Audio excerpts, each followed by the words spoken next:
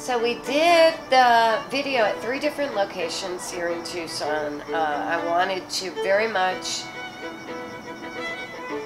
show off this beautiful place that I live. I have such a, a, variety of audience around the country and actually out of the country. And I and I think sometimes people ask me, you know, why why did you end up in Tucson? So that was definitely a goal for this video for people to see some of the beautiful culture here. Uh, the first place that we shot is a place called Gates Pass and it is the mountain overpass that heads into the Saguaro National Monument west.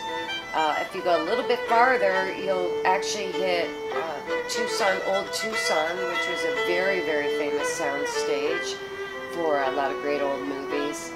Uh, but it's one of the prettiest spots for sunsets and, uh, and to spend time with saguaro cactus which is the only place in the world that you can see saguaro cactuses, is here in Tucson, Arizona, or in Arizona, I should say.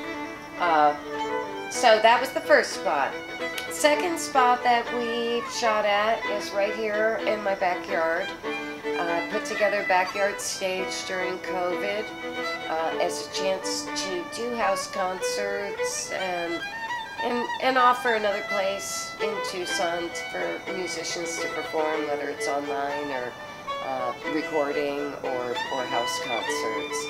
Uh, so that's what was happening here. And then the last place that we recorded was a place called the Sinner's Shrine. And it's downtown on Main Street and Cushing Street, very close to a restaurant called El Minadito, correct? I believe Minadito is the restaurant, and uh, it's a. It goes after its name. We're, we're very well known. The Mexican culture here, the Tucson culture. Uh, there's a lot of shrines. There's a lot of honoring the dead. There's a lot of lighting of candles and spaces to connect with the ones who have passed. That's part of our culture. And but the Sinner's Shrine has a nice little extra added edge to it. And when you go there, often you'll find things like ashtrays and cigarette butts and and beer cans and children's toys and all sorts of stuff to honor people on all levels, you know, not not just the holy candles, but also uh, the human remembrances. Uh, so that's where we did that. The song I wrote, uh, it's called Ain't Gonna Live Without You.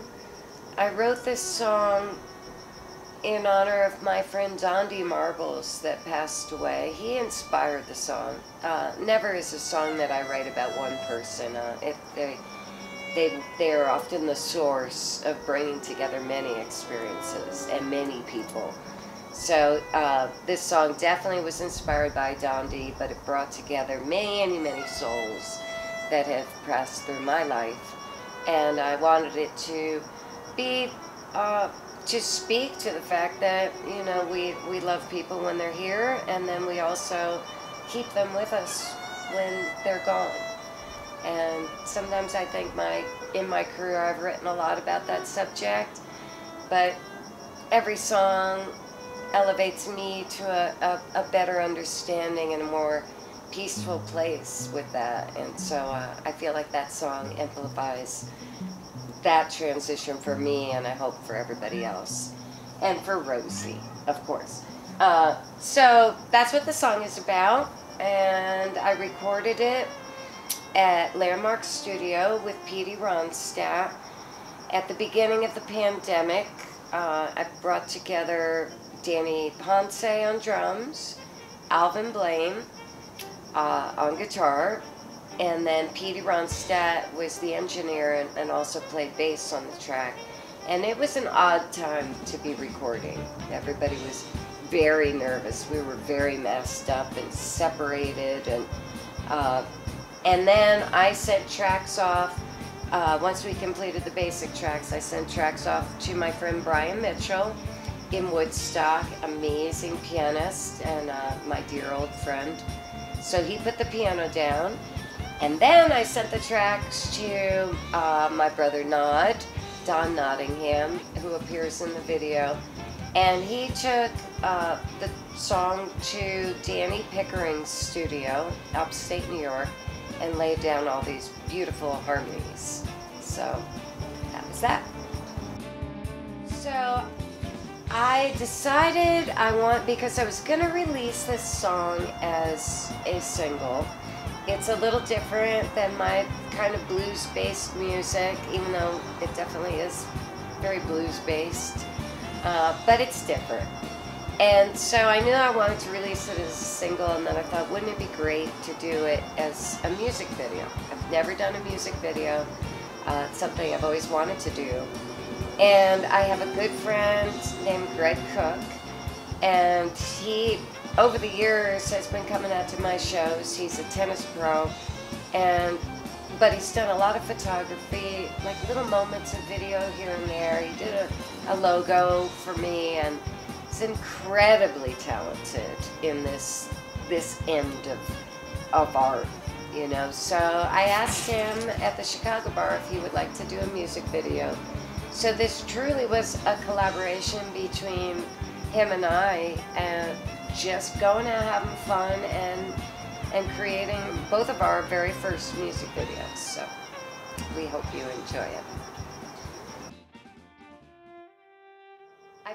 The song really related to our annual uh, Day of the Dead parade. Dia de los Muertos is, is the holiday, and it's a Mexican holiday to celebrate the ancestors, basically. And here in Tucson, we have a beautiful procession. We honor that that tradition uh, called the Day of the Dead procession. And people come out and they walk and they hold pictures of their loved ones that have passed on. And they uh, decorate themselves in marigolds and flowers and beautiful outfits, often uh, musicians, you know. And then the key part of the of the celebration is that everybody's decorated in the skull paint, and they call that for the women it's La Catrina, and you're you're wearing that character, and then you're carrying the photos or the remembrances of the people that you love and you're walking with them. It's really beautiful and I just felt like that somehow was akin to what I was trying to talk about when I wrote this song.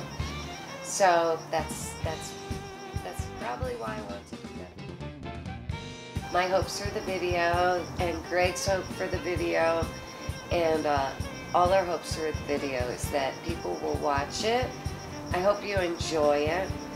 And if you do, uh, I hope you enjoy the song, you know, more than anything. I think you're going to enjoy the video. And if you do, I really hope that uh, everybody will get on board to sharing it. And we would like to get at least a million people to watch this video. I mean, I would like to go viral, not just to have the COVID virus. I want to go viral.